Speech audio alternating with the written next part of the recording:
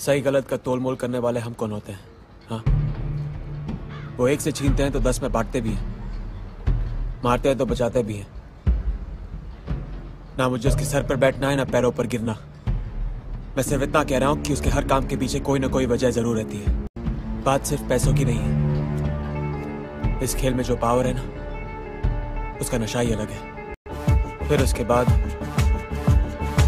सारी दुनिया राख की तरह नीचे और खुद धोए की तरह ऊपर।